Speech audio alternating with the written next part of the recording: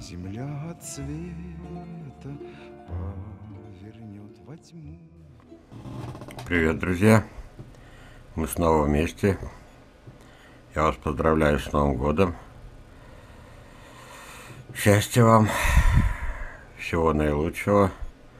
Ну и так как мне заклинило на садах, я произношу постоянно заклинание. Процветание вашему саду.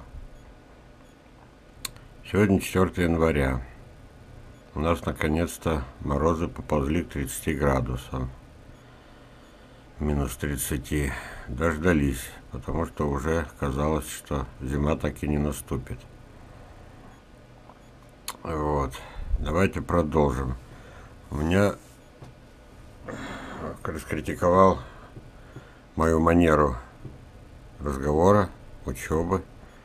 Очень серьезный ученый.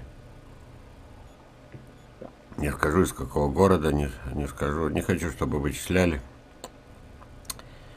Вот, бессистемность, вот это огромный минус он считает. Вот, нужно, чтобы все я разложил по полочкам и по темам, а у меня все как точно салат оливье.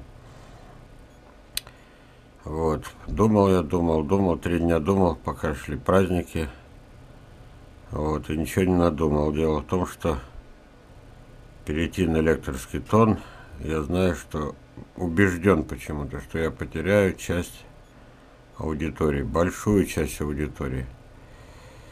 Вот, им будет просто это все неинтересно. Зачем ему знать эти тонкости? Есть несколько основополагающих вещей, которые позволяют резко продвинуть садоводство вглубь, я имею в виду вглубь дачных массивов, вглубь на север, на восток – и последнее время, держите за стулья, у меня начали спрашивать советов и начали выписывать имена жители с самого юга.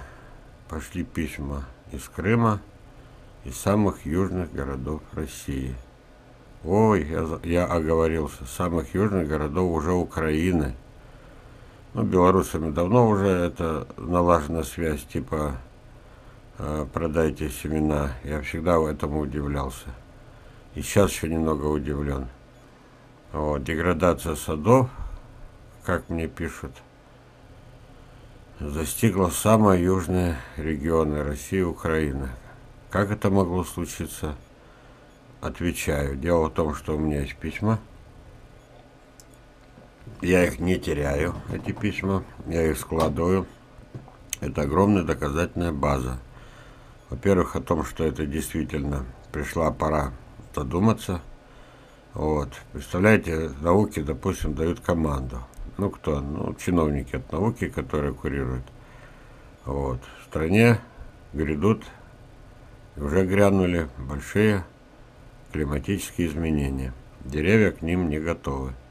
Срочно займитесь этим делом. Вот.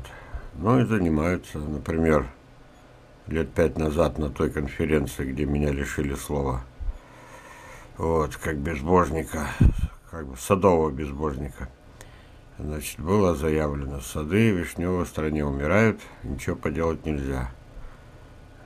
Пока еще со мной пытались э, дискутировать некоторые ученые, я предлагал перенести туда,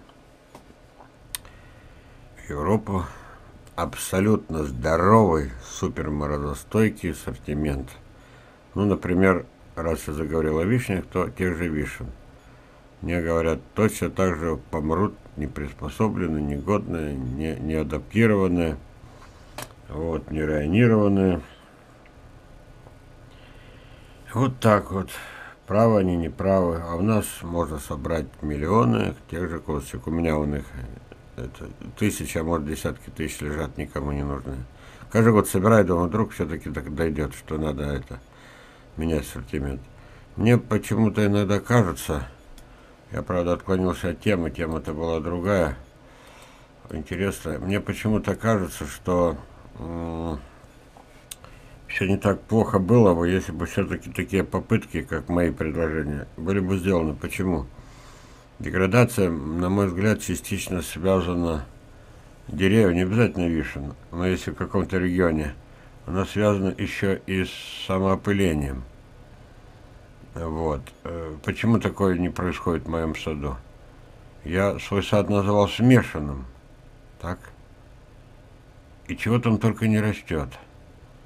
Например, если это абрикосы, то от самых диких до самых э, культурнее не бывает. Вот. Найдите еще где-нибудь плоды 100-граммовые. Вот, кроме моего друга кудесника на Урале. Поищите. Так. А, фамилия Латенко, кстати. И вот эта вот палитра, она должна быть в садах, и тогда деградации не будет, утверждает Железа Валерий Константинович вместе со своими друзьями Бродским Юрием Васильевичем и Лысенковым Юрием Алексеевичем. Вот. А в других садах эта тенденция имеет место быть, и, возможно, я прав, мы правы.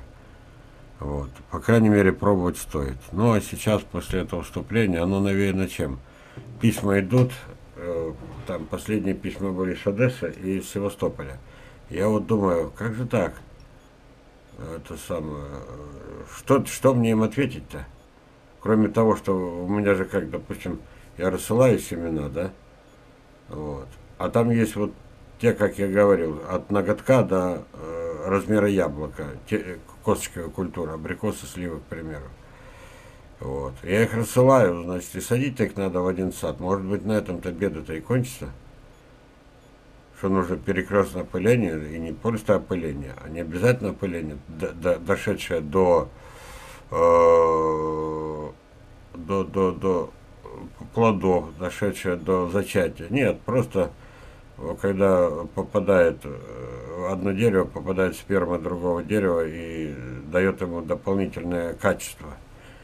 Вот, в том числе, ну, не буду перечислять, уже говорено. И вот, значит, э, эти, эти, эти вот письма мне навели, мне же приходится отвечать, они же смотрят на меня как на авторитет. Они знают одно – Сейчас Железовну напишет, и наш штат перестанет загибаться. Вот. Ну ладно, пойдем